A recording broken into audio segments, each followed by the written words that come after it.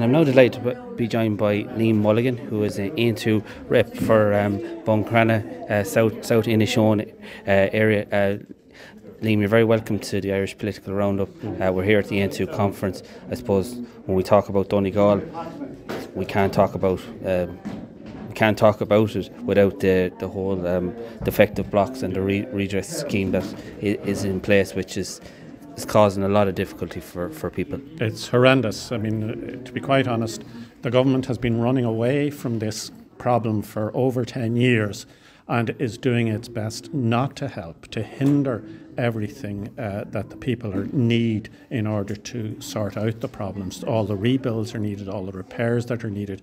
Its whole approach is to make it difficult.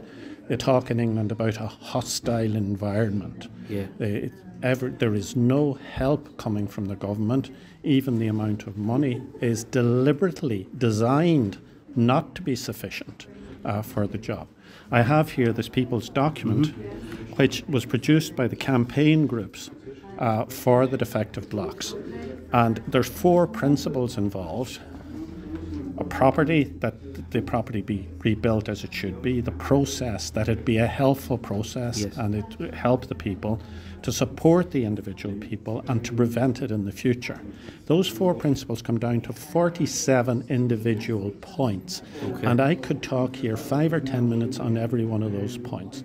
But the essential problem is that the government is not keen on helping the people if the government needs to change over its whole mode to actually put people in to help people sort out the problems. And this is the, what the people, especially in Inishowen, which is the epicenter of the problem, but all over North Donegal, and it is a similar problem we are seeing now with pyrites in Mayo and Sligo and Clare and Limerick and in the southeast. And it's a, related to the problems of the defective buildings, the defective apartment buildings in Dublin, of the government not doing its work mm. and not willing to be brought to account for not doing its work.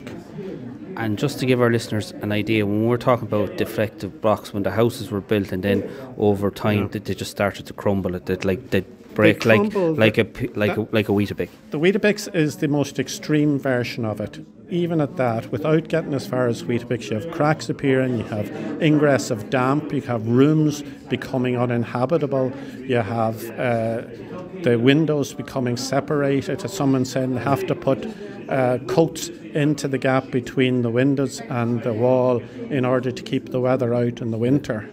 And these people still have to prove with chem- with uh, they have to bring six thousand or something to the table, and in the initial proposal, effectively it cost them twenty two thousand to approach the government for help. Wow. It's improved since then. There are more, but it's still very very difficult, and there are so many houses. And what basically you have, you are there with your house. Yes. You're at the pin of your collar, but you have a home, a refuge for your family, and you have an asset that at least your money is going into something that you can realize.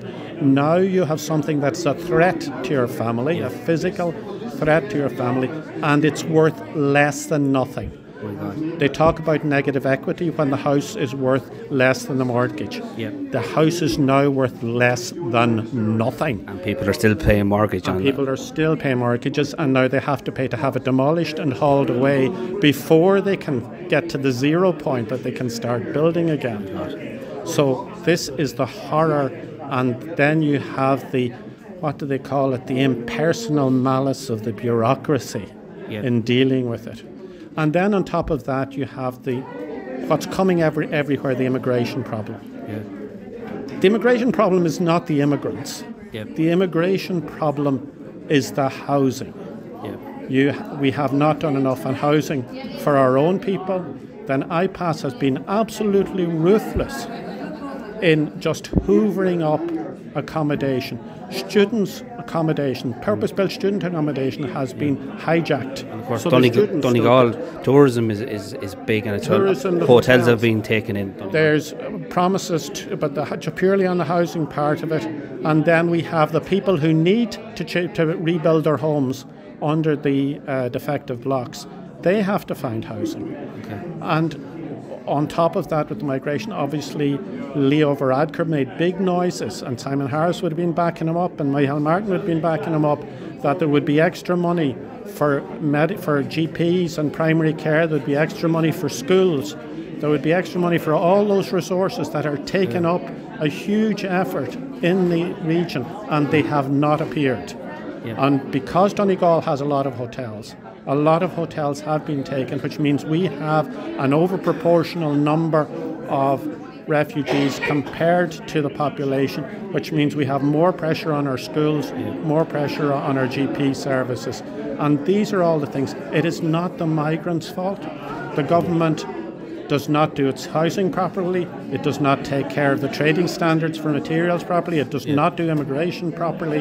It does not spend the money. And these all come together in this huge problem. And can it, what policies would Aontú have to address these issues? Well, the first policy is we have to recognise that we have no budget surplus because we do not only need a fund for the future, we need a fund for the past. Yes. We need to take all those issues that the government didn't spend on in its bad management of the boom, in its bad management of the bust. We need to, ta- and we have to make up for those, and that's what we're facing with the defective block scheme. We have a huge. We have to give it a budget. We have to give it a team, extra personnel, not just the current county council. I imagine. Donegal County Council, for the best will in, in the They world, don't the they don't have the people to, to do, do have the job. You have to bring in a team and a, and a prop team with the right skills to go out and help people sort the things out. It has to go over from constantly questioning to actually going out and helping people proactively to solve their problems in a sensible way and not be stopping them in a bureaucratic way. And similar, as Peadar Tóibín has said, we need to enforce the regulations and the laws we have on immigration now. Yeah. There's no point having rules and regulations they're not enforced. I know for personal reasons that this is a 25 minimum, a 25 year old problem. Yes. That because of judicial decisions in the 90s, that the governments didn't provide the money to provide the personnel, that the resources that were needed to operate the systems.